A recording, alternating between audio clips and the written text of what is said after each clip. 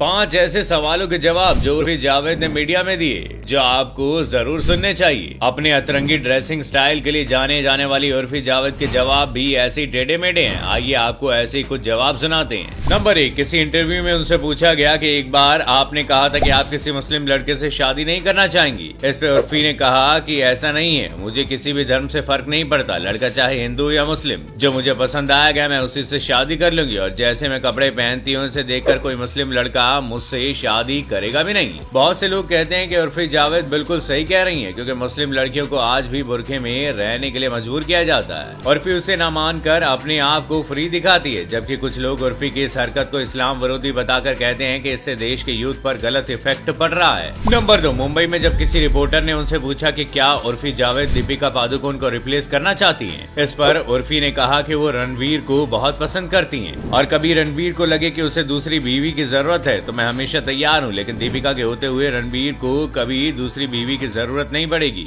Number तीन, एक film release होने के दौरान जब उर्फी से बाइकआउट बॉलीवुड के बारे में पूछा गया तो वो शायद पहली बार मीडिया के सामने इतने गुस्से में नज़र आई थी। वो खुलेआम मीडिया के सामने बॉलीवुड को सपोर्ट करती नज़र आई थी। उनका कहना था कि अगर कुछ बाइकआउट करना ही है तो जो पति अपनी पत्नी को मारते हैं, उसे बाइकआउट क्यों नहीं करते? जो लोग लड़कियों को गलत नज़र से देखते हैं, जो उनके ऊपर गलत कमेंट करते हैं, उन्हें बाइकआउट क्यों नहीं करते हो? नंबर चार, जब पब्लिक स्पॉट पर उन्हें कई रिपोर्टर्स ने घेर लिया और सवाल किया कि आप अगली बार ऐसा क्या पहनेंगे कि सब सरप्राइज़ हो जाएँ। इस पर उर्फी मज़े लेते हुए कहती हैं कि अगली बार मैं बिना कपड़ों के ही आ जाऊँगी। आगे उन्होंने कहा कि मेरी सभी ड्रेस सरप्राइज़ ही होती है। नंबर पाँच उनके अतरंगी कपड़ों को लेकर जब उनसे मीडिया में ये सवाल पूछा गया कि आप ट्रोलर्स को क्या जवाब देना चाहेंगे, तब वो कहती है कि जब मैं सलवार सूट पहनती हूँ, तब भी वो लोग मेरे बारे में ऐसी गंदे बातें करते हैं। तो इसलिए मैं जानबूझकर ऐसे कपड़े पहनती हूँ ताकि उन्हें सच में मुझे ट्रोल करने का मौका मिले और उन लोगों से मुझे कोई फ़र्क भी नहीं पड़ता। नंबर छह, एक मीडिया वाले ने उर्फी से सवाल किया कि आप ऐसे छोटे छोटे और सेमी न्यूड कपड़े पहनते हैं, इससे बच्चे बिगड़ नहीं जाएँगे। इस पर उर्फी अपने अंदाज में कहती है कि क्या रामायण देखने से बच्चे सुधर जाते हैं। जो मुझे देखने से बच्चे बिगड़ जाएँगे, क्या पॉर्न देखने से बच्चे नहीं बिगड़ते? कुछ बैन ही करना है तो पॉर्न को बैन करो, ना कि मुझे या मेरे कपड़ों को जिसपे लोग काफ़ी भड़क गए। और कहने लगे कि चाहे जो भी हो, उर्फी को इसे रामायण से कंपेयर नहीं करना चाहिए था।